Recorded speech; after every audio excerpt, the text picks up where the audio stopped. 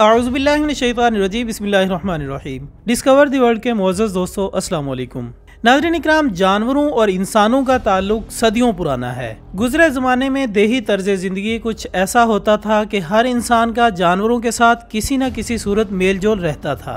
वक्त गुजरने के साथ आहिस्ता आहिस्ता लोगों ने शहरों का रुख कर लिया और जानवरों से इंसान का ताल्लुक कम होते होते बिल्कुल ख़त्म हो गया। लेकिन अभी भी हज़ारों लोग ऐसे हैं जो कि जानवरों को अपनी औलाद से बढ़कर समझते हैं, इनका ख्याल रखते हैं और देखभाल करते हैं।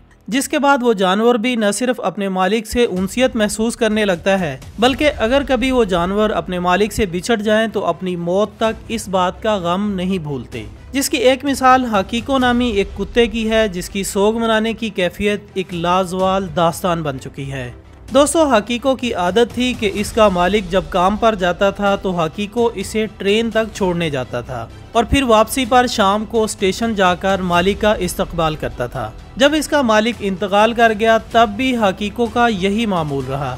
हकीको नामी ये कुत्ता तकरीबन 10 साल तक अपने मालिक की वफात के बाद हर रोज़ स्टेशन जाता, अपने मालिक की वापसी का इंतज़ार करता। जिसके बाद कुत्ते के इन एहसास को जानकर दुनिया में मौजूद करोड़ों लोग इससे मुतासर हुए।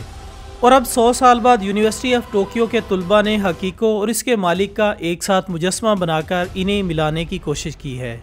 जबकि इसी से मुशाबे एक और दास्तान भी हाल ही में सामने आई है, जिसमें चीन के जनूब मगरबी सूबे के शहर यूजोंग में मेट्रो स्टेशन पर एक कुत्ता सारा दिन बैठा अपने मालिक की वापसी का इंतज़ार करता है। पीपल्स डेली चाइना के मुताबिक इस कुत्ते का मालिक सुबह सात बजे काम पर जाता है और बारह घंटे बाद वापस आता है। कुत्ते के मालिक का कहना है कि ये कुत्ता पंद्रह साल का है और गुजशत सात सालों के इसके साथ है और कई सालों से इसका मामूल है कि वो हर रोज़ इसका इंतज़ार करता है। जबकि कुत्ते के मालिक का कहना था कि ये किसी भी अजनबी से मिलने वाली कोई चीज़ नहीं खाता और मुकामी अफराद का कहना है कि ये कुत्ता जब अपने मालिक को देखता है तो बहुत पुरजोश हो जाता है। लिहाजा दोस्तों, इन वाक़ात से ज़ाहिर होता है कि जानवर भी इंसानों की तरह एहसास का मादा रखते हैं, जबकि न सिर्फ़ वो इंसानों से उनसीयत रखने के बायस इनकी मौत पर सदमे का इजहार करते हैं, बल्कि ख़ुद इनके जानवरों में से किसी की मौत वाक़ हो जाए तो वो ऐसी अजीब व गरीब हरकतें करना शुरू कर देते हैं कि गोया वो इस मरने वाले का मातम कर रहे हैं। लेकिन कुछ साइंसदान जानवरों के इस रवैये को बज़ाहिर सोग मानने के लिए तैयार नहीं हैं। क्योंकि इनका कहना है कि जानवर इंसान की तरह एहसास नहीं रखता। मिसाल के तौर पर अगर वो गमजदा होकर अजीब गरीब हरकत करते हैं तो असल में वो खौफजदा हो जाते हैं कि जिस शिकारी ने इनके साथी को मारा है, कहीं वो इनको भी ना मार दे। इस तरह अगर वो गुस्से का इजहार कर रहे होते हैं तो दर हकीकत ये उस सबब के खिलाफ गुस्से का इजहार करते हैं जिसकी वजह से इनके साथी की जान गई होती है। इस तरह नफ्सियात के बुनियादी असूलों के तहत जब तक कोई जानदार अपने एहसास के बारे में खुद ना बताए, तब तक ये जानना मुमकिन नहीं कि इसके दिमाग में क्या चल रहा है। लेकिन दोस्तों, साइंसदानों की ये बात कुछ इसलिए भी समझ में नहीं आती कि बहुत से ऐसे तजुर्बात भी किए जा चुके हैं कि जिनसे मालूम होता है कि जानवर बाकायदा तौर पर सिर्फ़ अफसरदा नहीं होते, बल्कि रोते भी हैं। जिसकी आम मिसाल कव्वों की है। जी हाँ दोस्तों, कहा जाता है कि जब कव्वों का कोई साथी मरता है तो इनका शोक काबिल दीद होता है। और ये आम मुशाहदे की बात है कि जब कोई कौवा मरता है तो बहुत से कौवे इसके इर्द गिर्द इकट्ठे हो जाते हैं। वो इसके इर्द गिर्द मुंडलाते हैं, इस तरह काएँ काएँ करते हैं जैसे इंसान अपने किसी प्यारे के मरने पर आहो बका करते हैं। वो इसके करीब आते हैं, इसको चूँचे मारते हैं जैसे वो इसे चूम रहे हों या फिर उठाने की कोशिश कर रहे हों। इनकी देखा देखी और भी बहुत से कौवे वहाँ जमा हो जाते हैं, फिर वो दायरे की शक्ल में इसके करीब बैठ जाते हैं और खामोशी इख्तियार कर लेते हैं। कुछ कौवे तिनके या कोई फूल वगैरह मुर्दा कौवे के करीब या इसके ऊपर रखते हैं। इस तरह एक मखसूस अंदाज में खराज तहसीन पेश करने के बाद वो उड़ जाते हैं। लिहाजा अब देखा जाए तो मुर्दा परिंदे के साथ इनका ये बर्ताव हु बहू इंसानों जैसा ही है। यानी साफ़ दिखाई देता है कि वो किसी सानहे पर गम का इजहार कर रहे हैं। जिस पर तबसरा करते हुए यूनिवर्सिटी ऑफ़ वाशिंगटन के जंगली हयात के साइंसदान का कहना है कि कौवों की तरह बहुत से दीगर जानदार भी मुख्तलिफ़ तरीक़ों से गम का इजहार करते हैं। लेकिन अभी भी बाज़ दूसरे साइंसदान इस बात से इनकारी थे कि फिर इनके सामने एक ऐसा तजुर्बा पेश किया गया, जिसमें हाथियों का अहम किरदार था। जी हाँ नाजरीन, इस कुरा अर्ज़ पर ऐसे वाक़ात की भरमार देखी गई, जिनसे पता चलता है कि हाथी बाकायदा मौत के बाद रसूमात जैसा रवैया अपनाते हैं और जिस जगह इनका साथी मरता है, इसको कब्र समझते हुए इसकी तज़ीम भी करते हैं। इस सिलसिले में कीनिया में एक नेशनल पार्क में काम करने वाले एक बरतानवी माहिर हयातियात, एक हथनी एलियानूर की मौत का वाक़ बयान करते हैं। इनका कहना है कि एलियानूर अपने झुंड की सरबराह थी और मौत से छः माह कबल इसने अपने बच्चे को जन्म दिया था। वो बीमार हुई और दूसरी हथनी ग्रेस के सामने ज़मीन पर गिर गई। वो जैसे ही गिरी ग्रेस ने चीखना चिल्लाना शुरू कर दिया। वो इसे हिलाने जुलाने की भी कोशिश करने लगी। अपने दांत इसके नीचे देकर इसे उठाने की कोशिश करने लगी। अगले रोज जब इलिया नूर ने दम तोड़ दिया तो झुंड की एक और हथनी आगे बढ़ी और इसकी लाश के करीब खड़ी हो गई। वो भी इसे हिलाने और इसका मुआयना करने लगी। एक हफ़्ते तक इलिया नूर का बच्चा और दीगर हाथी इसकी लाश को देखने आते रहे। इसकी लाश से दांत निकाल लिए गए तो तब भी वो इसकी लाश पर आते रहे। मुर्दारखोर जानवर इसकी लाश को नोचने, खसोटने आए तो दीगर हाथी तब भी लाश को लावारिस छोड़ने पर तैयार ना हुए।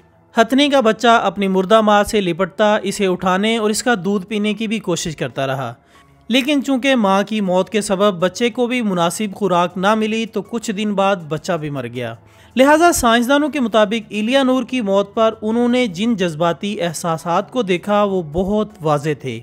इसी तरह नाजरीन, डायरेक्टर ब्राय लिविंग लिंक सेंटर की प्राइमाटोलॉजिस्ट फ्रांस डीवाल एक वाक्य बयान करते हुए बताती है कि जब बंदरों के एक ग्रोह का एक जहरीले सांप के साथ सामना हुआ बंदर इस सांप के करीब आने के बजाय दरख्त की एक शाख के ज़रिए इसको छूने और पकड़ने की कोशिश करते रहे। हती के एक बंदरिया ने इसको पकड़ लिया और ज़ोर ज़ोर से ज़मीन पर मारकर इसे हलाक कर दिया। सांप मरते ही इन बंदरों के लिए एक बेजर वजूद बन गया। हती के नौजवान बंदर इसके दांतों का मुआयना करने और इसे हार की तरह गले में पहनने लगे। डीवाल का कहना है कि बंदरों में से कोई भी इस बात की उम्मीद नहीं करता था कि सांप ज़िंदा हो जाएगा। यानी मालूम हुआ कि मौत के मुतालिक आगाही हर जानवर रखता है। नाजरीन, मौत के हवाले से ये आगाही जिस तरह इंसानों को कई महीनों और सालों तक सोगवार रखती है, वही हाल बंदरों का भी है। जबकि इसी तरह का एक और वाक़ उस वक्त पेश आया जब हॉलैंड के एक चिड़ियाघर में एक मादा चिंपेंजी ओल्टीजी को इन्फेक्शन हुआ और इसे इन्फेक्शन के लिए दी जाने वाली अद्वियात ने काम ना किया। एक दोपहर जब सब जानवर अपने अपने पिंजरों में थे और उल्टी जी बहुत बीमार दिखाई दे रही थी तो एक और मादा बंदर इसके करीब आई और इसकी आँखों में झांकने लगी। इसके बाद वो चीखे मारने और अपना सीना पीटने लगी। ओटीजी खड़ी हुई और इसने भी कुछ बोलने की कोशिश की, लेकिन फिर वो गिरी और मर गई। वहाँ पर मौजूद एक और चिंपैंजी ने ज़बरदस्त चीख मारी और इसके बाद बड़े पिंजरे में मौजूद तमाम चिंपैंजी एकदम साकत हो गए। नाजरीन, वैसे तो साइंस इस हवाले से हतमी तौर पर यह बताने से कासिर है कि आया जो चिमपेंजी ओटीजी के करीब तरीन थी, इसे पता चल चुका था कि वो मरने वाली है। ताहम ओटीजी की मौत और सांप की मौत से पता चलता है कि बंदरों को दूसरे जानवरों की मौत का इल्म होता है और ये इल्म इन्हें बहुत मुतासर करता है। जबकि शवाहिद से ये भी पता चलता है कि वो जानते हैं कि जब कोई जानवर बहुत देर तक हरकत नहीं करता तो इन्हें इस बात की बहुत उम्मीद होती है कि वो अब हरकत में नहीं आएगा। दोस्तों, ऐसे ही वाक़ात में एक वाक़ बिल्ली का भी है, जिसका नाम विला था। कहा जाता है कि विला नामी इस बिल्ली की बहन की जब मौत हुई तो इसे कहीं दूर फेंक दिया गया, जिसके बाद ये बिल्ली हर वक्त अपने घर में इधर उधर घूमती रहती और अपनी मुर्दा बहन कारसन को ढूंढती रहती। लिहाजा मौत के हवाले से मुख्तलिफ़ जानवरों पर किए जाने वाले तजुर्बात के बाद एक बात तो यकीनी है कि जानवर भी हम इंसानों की तरह एहसास रखते हैं। इनके ये एहसास कमज़ोर हो सकते हैं या मिले जुले हो सकते हैं।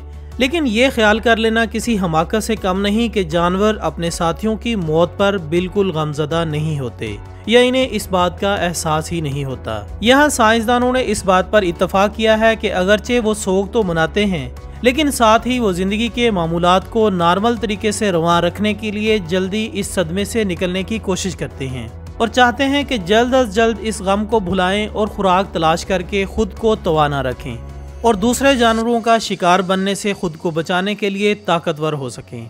तो दोस्तों, ये थी हमारी आज की दिलचस्प वीडियो। हम उम्मीद करते हैं कि आपको ये वीडियो ज़रूर पसंद आई होगी। इस वीडियो को अपने तमाम सोशल मीडिया अकाउंट्स पर शेयर कीजिएगा और कमेंट्स की सूरत में अपनी राय देना हरगिज़ मत भूलिएगा। हमारी अगली वीडियो आने तक अपना दोस्तों, रिश्तेदारों और गिरदनवा के तमाम लोगों का बहुत ख्याल रखिएगा। अल्लाह हाफिज़।